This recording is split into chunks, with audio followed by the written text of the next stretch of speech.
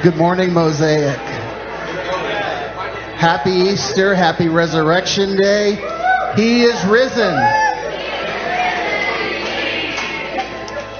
We're reading from the book of Luke, chapter 24. On the first day of the week, very early in the morning, the women took the spices they had prepared and went to the tomb. They found the stone rolled away from the tomb, but when they entered, they did not find the body of the Lord Jesus. While they were wondering about this, suddenly two men in clothes that gleamed like lightning stood beside them.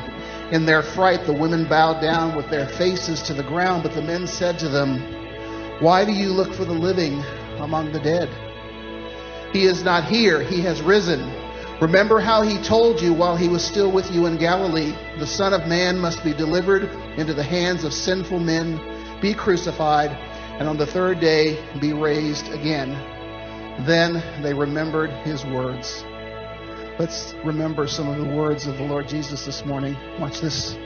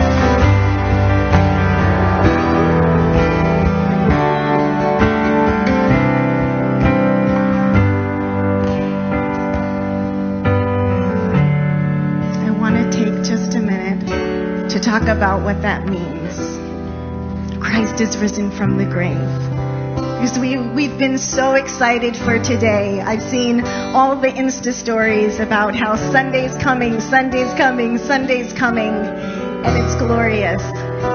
But tomorrow is Monday. And what are we going to do with Christ is risen from the grave? What is that going to mean to us?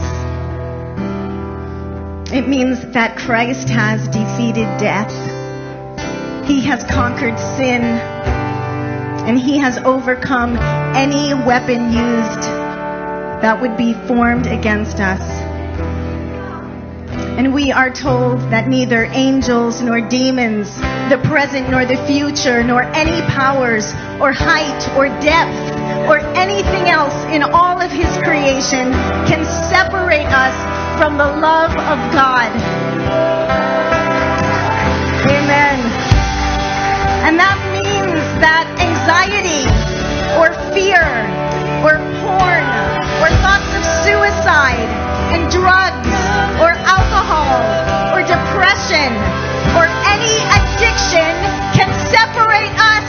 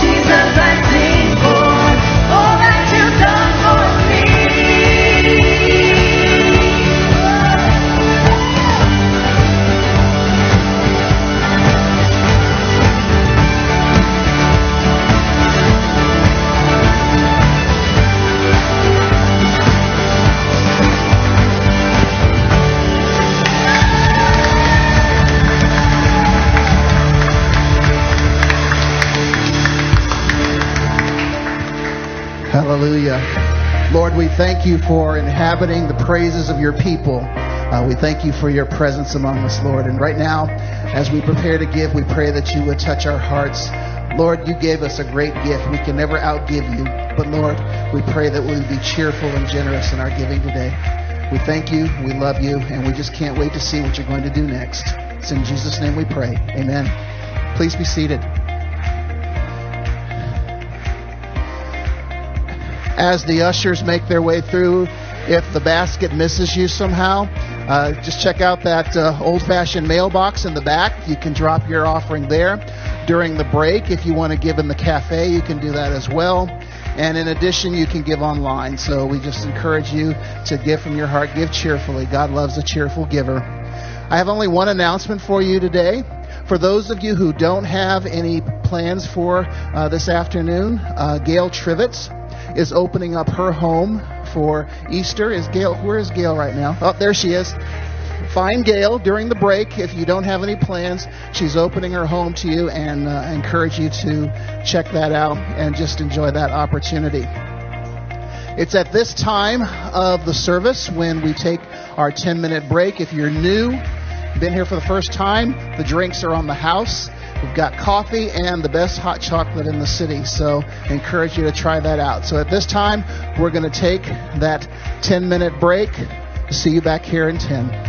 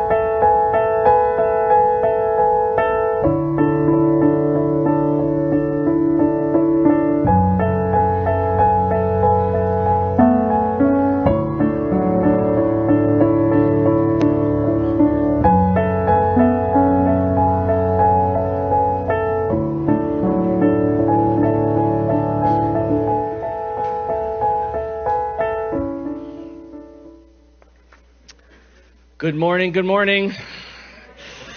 Happy Resurrection Day, eh? Yes, yes. Let me pray for us.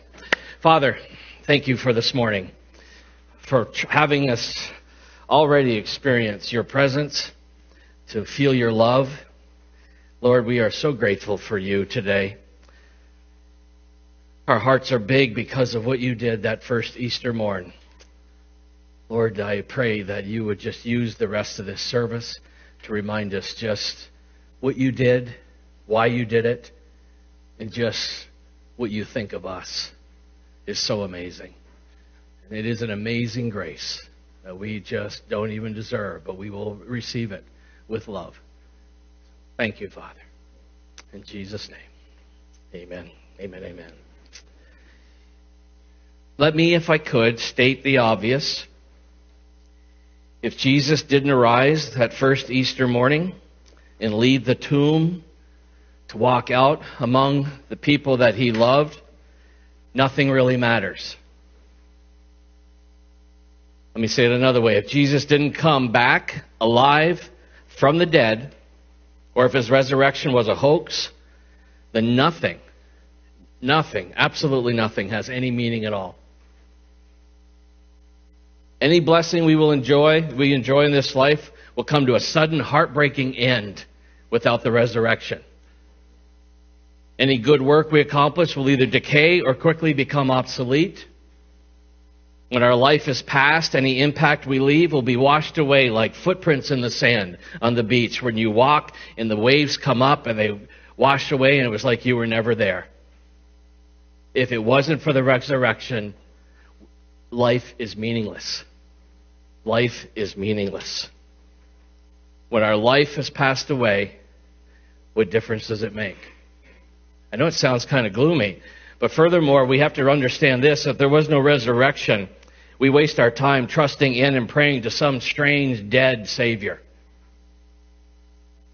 And that's what it's like if we don't believe in what we're celebrating here today. The resurrection is everything everything to us as Christians. It's absolutely everything. I love the way Paul said it here in 1 Corinthians. And if Christ has not been raised, then all our preaching is useless, and your faith is useless.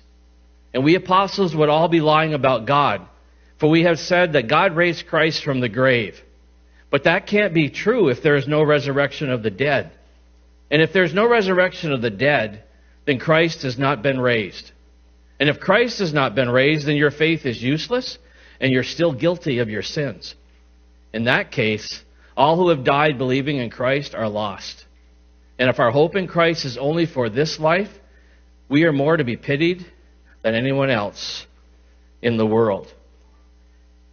The resurrection of Jesus Christ is the pivotal event for all of us who call ourselves Christians. And it's so important that we just take the time on this day, but just like Marisa said, what about Monday? What about Monday?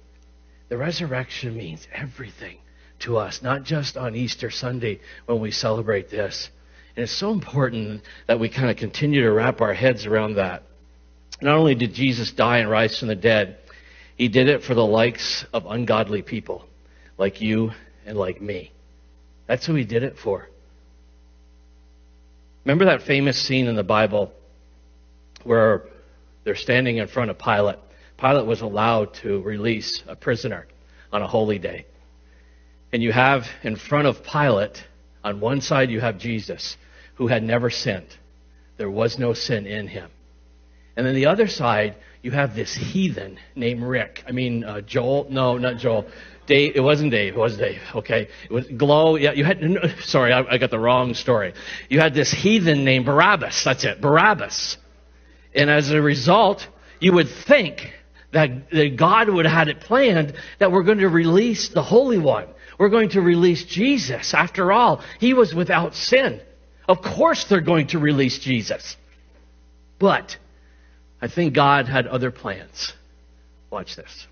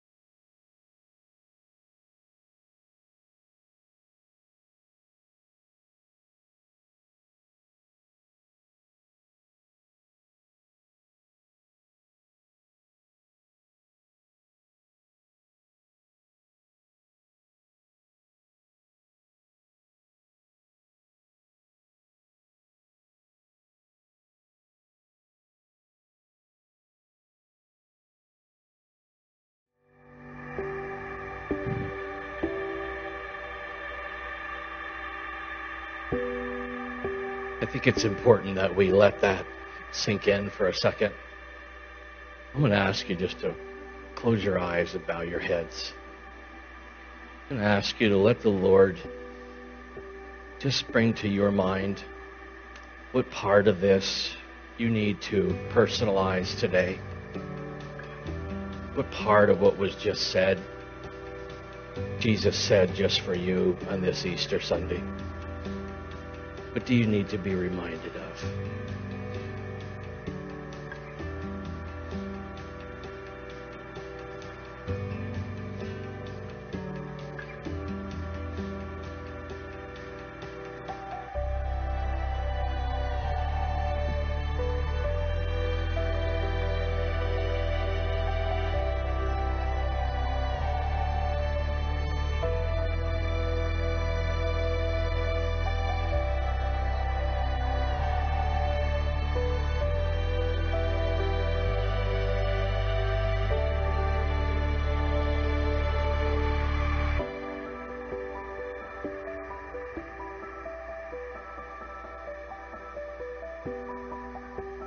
I want us to be reminded, folks, that if Jesus had been set free instead of Barabbas, we would not be sitting here today. It would be meaningless. But Barabbas was set free because he needed to be set free, so Jesus could love Barabbas because we are Barabbas. We would have no hope if it had been Jesus that was set free before he went to the cross. We would have no hope. But we do have a hope, and I want to read it to you right now. It said, You see, at just the right time, when we were still powerless, Christ died for the ungodly. Very rarely will anyone die for a righteous person. Though for a righteous person, someone might possibly dare to die. But God demonstrates his own love for us in this while we were still sinners, Christ died for us. While we were still sinners, while we were still ungodly, while we were still the heathen, while we were still the Barabbas, Christ died for us. Romans goes on to say, but what does it say? The word is near you. It is in your mouth and in your heart. That is the word of faith. Any of us who come to Jesus come so by faith. Is the word of faith we are proclaiming. That is, if you confess with your mouth Jesus is Lord and believe in your heart that God raised him from the dead, you will be saved. For it is with your heart that you believe and are justified, and it is with your mouth that you confess and are saved. As the scripture says, anyone who trusts in him will never be put to shame. For there is no difference between Jew and Gentile. The same Lord is the Lord of all, and richly blesses all who call on him. For everyone who calls on the name of the Lord will be saved. Everyone. When you and I, by faith, accept what Jesus did on the cross, by dying for our sins, there's an immediate change that takes place in us. The day that you accept Jesus as your Lord and Savior, for me, it was 1980, April Fool's Day in Las Vegas, Nevada, when I was 22 years old. I knew that I was tired of living my own life. I knew I needed Jesus. So I surrendered. One Sunday evening in a church, I just surrendered. At that point, the weight of the world was off of me and I knew that something had changed in me. Right away, even though I didn't understand the word, I knew I was justified. The word justified means you're not guilty. You're not guilty, because I had sinned a lot. Living in Las Vegas, being a, GI, I had sinned a lot. But at that point, on that April Fool's Day, God said, You are justified, Rick. You are not guilty. You are not guilty. I was like, Oh, and I felt it. I felt the weight of the world off my shoulders. And then I went on to understand that I was sanctified. These are big words, and the word sanctified means that you are positionally holy, Rick. You are positionally holy. I didn't feel holy. It didn't make any difference what I felt. Okay? Faith doesn't follow feelings. Feelings follows faith. I was positionally holy. And then I started to understand as I was discipled that I needed to get in God's Word, His manual for us, and I started to read it. And then all of a sudden things started to change in my life. And then I was read where I'm promised that the Holy Spirit now lives inside of me. And I'm thinking, wow, He's my helper, the Bible says. And it's no longer I that's just doing this by gutting it out. It wasn't, it wasn't my own self-reliance. It wasn't my own strength. It was the Holy Spirit working through me. And I, and I knew change was happening in me. I remember coming to the Lord and the first time I took the Lord's name in vain, a day or two later, after I accepted Jesus, it was like I had swallowed dirt. I immediately like, ah, what did I just say? And I cussed like a sailor, but all of a sudden, after I accepted Jesus, and I said Jesus Christ in a derogatory manner, it was like I had swallowed dirt. I couldn't believe how bad I felt. How it was just a, this sick feeling in me. I'm going, I can't do that anymore. And then things just started to change. And I've been changing the last 40 years. It's just been a constant change. Because, see, at salvation, you and I got it all. There's nothing we lack. And now it's a point of unpacking it. There's no more you're going to get. There's no more you're going to get. It's not a question of doing, it's a question of being. And Jesus gave it all to you. And he says now the optimum word is just mature. Just mature in your faith. Just continue to read my word and grow in me. Continue to let the Holy Spirit who lives inside of us be all that he wants to be to us. And you continue to change. And you can see it in your life over and over and over again. And all of a sudden, you, you used to be really impatient with this area in your life, and you find that you have more patience. Or you used to be really bitter when this person's name came up of this person who harmed you or hurt you greatly. And all of a sudden, one day you heard a message that said, We need to forgive. We need to forgive. And then all of a sudden, one day you just said, Lord, I'm not going to hold bitterness or anger or angst or anything against them anymore. I forgive them. And then another burden is lifted off of you. And then when that name comes up again, you're not triggered. And you start to see change over and over in your life. And that's, that's till the day we die. We're going to continue to change. We just got to submit ourselves to God and say, Not I, but thy. Not me, but you. Your will, God, not my will. Because in all of life, to serve God is life. It's not about me anyway. It's not about you. It's about Him. It's about His will for your life. So as you look at change, I want to introduce to you right now some dear folks here. I've been a pastor here for 14 years. My wife and I founded this church 14 years ago.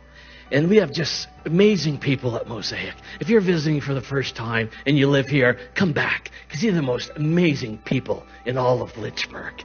We have the most amazing people because they're just submitting themselves to say, Lord, change me. I wanted, I used to be this way, but I feel myself changing. And that's the whole thing. And I got, I just want to introduce you to some very honest and authentic and real people right now who have allowed the Lord to change them. So just watch.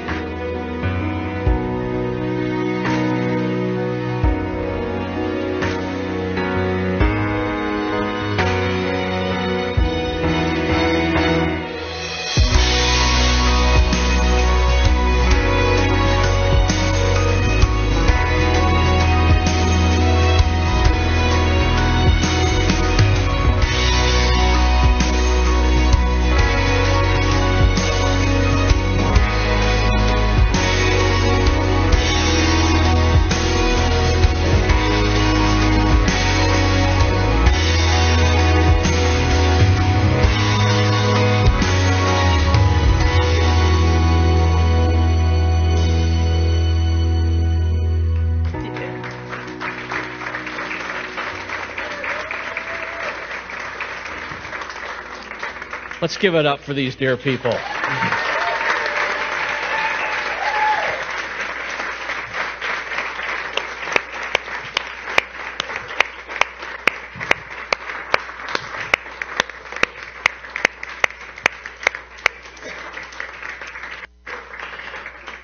None of them, or nor I, would say that we have arrived. We, we haven't. We're, we're all a work in progress. And that's every one of us in this room. And as long as, I, like I said before, we continue to submit ourselves to God and His will and not our will, we will continue to see deeper and deeper joy and more and more change. And these people's lives have changed. Your lives have changed, several of you. And I would just say, let's continue to let God have His way. We are the clay, He is the potter. Let's let Him just continue to form in us what He will. Amen? Amen. You guys can have a seat.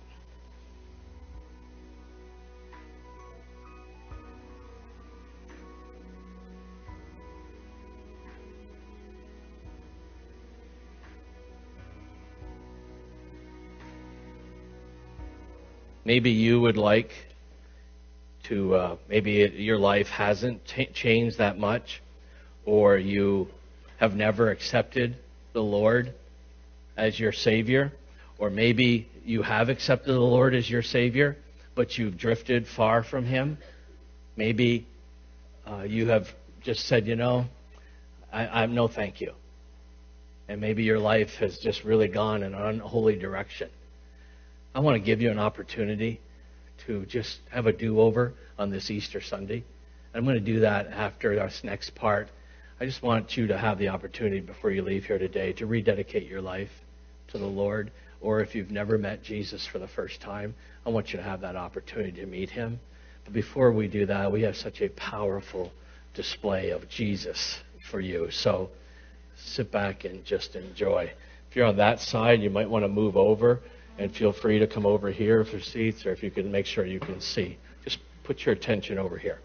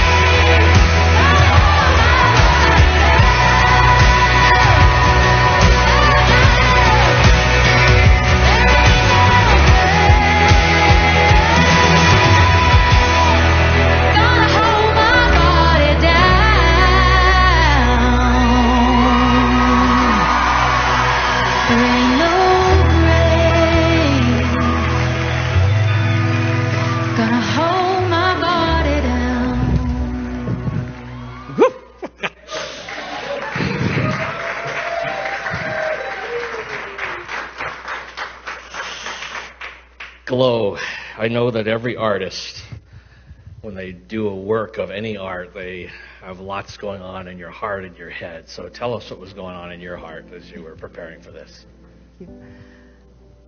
I wanted to bring us all into the tomb. One day we all have to face death. And we've already faced the death of some of our loved ones. I have. And it's just a joy to know that Christ overcame sin, death, and the grave. And he arose in a new body, incorruptible. He could walk through walls and appear and disappear. And we're going to be like him one day. We're saved. We're born again. Our spirit and soul are resurrected. Our soul is learning to follow. And our body one day will be made just like him. When he comes again, he'll resurrect us and we'll be in heaven with him forever. And we'll all be together if you know him. This is, this is not the end right here because of him. Amen. Thank you, Lord.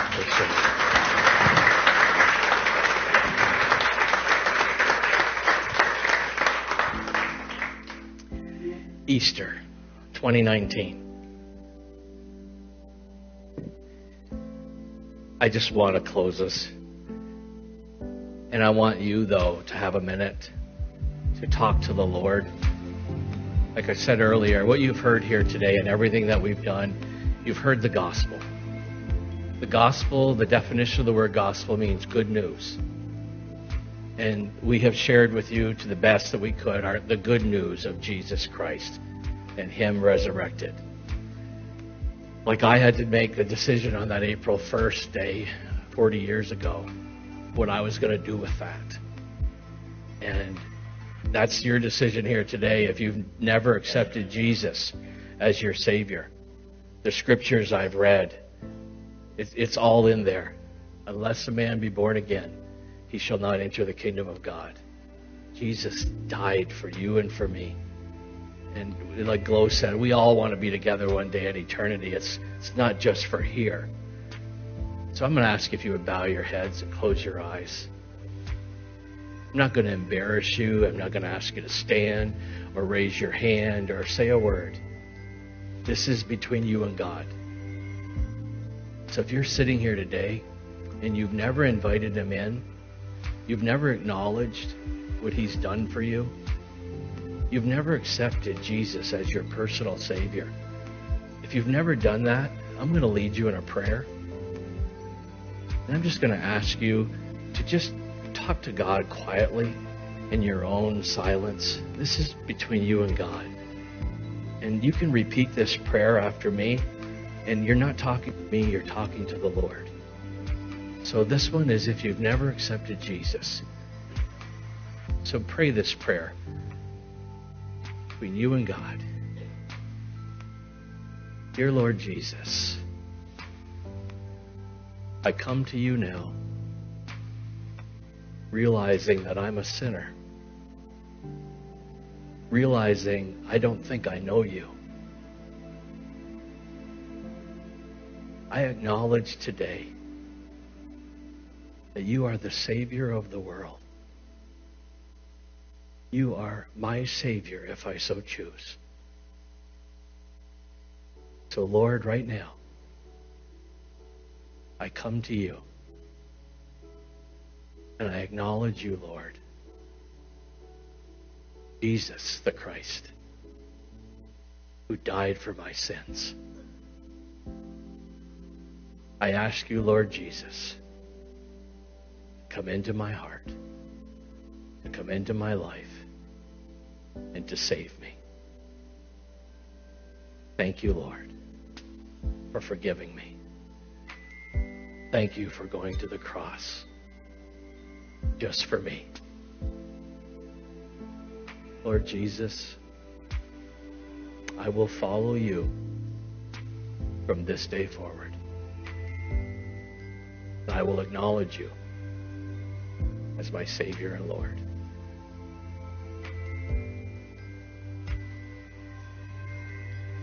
For those of you who are Christians, you at one point or another said the prayer I just said with maybe others in this room, but you have drifted for whatever reason, you're, you're far from God. Maybe you thought you could gut it out, like we heard in the video. I'll, I'll, I'll try harder. No, you won't. I'll, I'll be more disciplined. No, you won't. It's, it's not about you. And so I would like to say a prayer of rededication of your life to come back to Jesus, to come back to that first love, what it felt like that first time, that you couldn't believe that He died for you. So I'm going to ask you to repeat this prayer after me for those of you who have drifted away from God. Dear Lord Jesus, thank you for your grace that is brand new every morning. I don't know why I left you. Maybe I thought I could do it on my own. But I have discovered I can't. To God, right now, I rededicate my life to you. I'm going to look back on Easter 2019 and say I got a do over. I rededicated my life to Jesus Christ. This time, it's not going to be about me. It's going to be about you, Jesus. So help me, Holy Spirit, to live a spirit filled life, to know that I can do all things through Christ who gives me strength. Father, I thank you for these dear people. And I ask you, Lord, if they have said that prayer of rededication or that prayer of salvation, that they would tell somebody, Lord, that they would contact us, that they would do whatever they feel comfortable with. But they would not sit on that because we, we need to tell others. So, Father, I pray for each and every one of them today who just said either one of those prayers. In Jesus' name. I remember when I said the sinner's prayer, or whenever you recall what I just did, um, I, I, really wanted to tell somebody. And I, I needed help to grow, and I needed to be discipled. And I went to the church and I said, What do I do next? And they assigned someone to me, and I met, and we just read the Bible together. They started me in the book of John, and they said, Rick, there's going to be some confusing passages maybe that you're not going to understand. Just, just keep reading, write things down. We'll meet with you. We will continue to help you and to equip you. Little did I know I was called to the ministry at that point. I had no idea what that even meant. That was 40 years ago. Been a pastor for 37 years. I had no idea what that meant, but God did. And He pulled me out of the mire and the muck that I was living in. And He said, This is what I've called you to, Rick.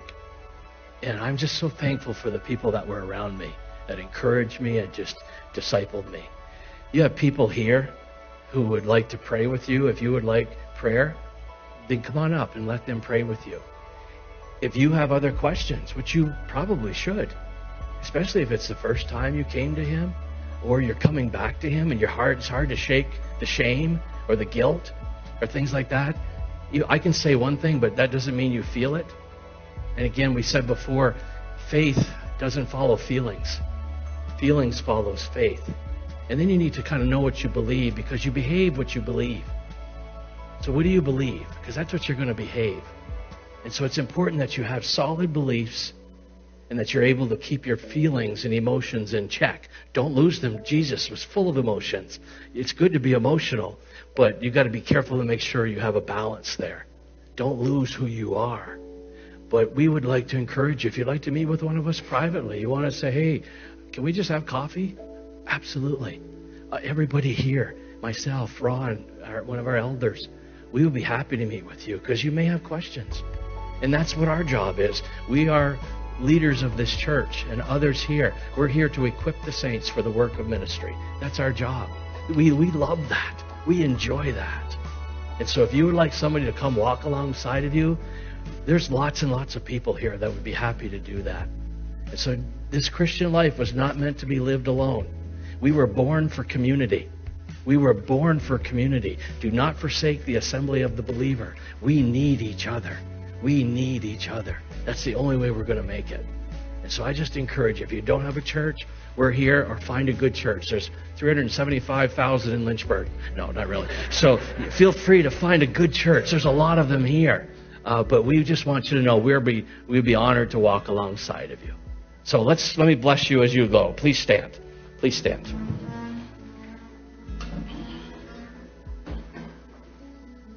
Again, please know that these people are here to pray with you at the end of this time that I bless you. Feel free to come forward. Just receive this. Put out your hands. Just put your hands. Father, I bless these dear people. Lord, I bless them this week as they rise up and as they lie down, as they enter and as they exit. Lord, as they go to work tomorrow morning or the next day or the next day or the next day, I pray, Lord, that you would bless them above and beyond what they could hope or ask for. I pray, God, that you would give them a renewed zeal and boldness to not sit on the gifts that are inside of them, to not sit on the faith that they have. Lord, we were born for community, we were also born to go and make disciples of all, of all people. So I pray you give us a renewed boldness and excitement about our Christian faith our excitement, Lord, about who you are. And so, Father, bless these dear saints. Watch over these dear people. They are incredible. I don't have to tell you that. You, you are crazy about them. So, Father, bless them. Bless them so they can barely stand it. And I pray this in Jesus' name. And everybody said, Amen. Love you guys. If you like prayer, please come forward.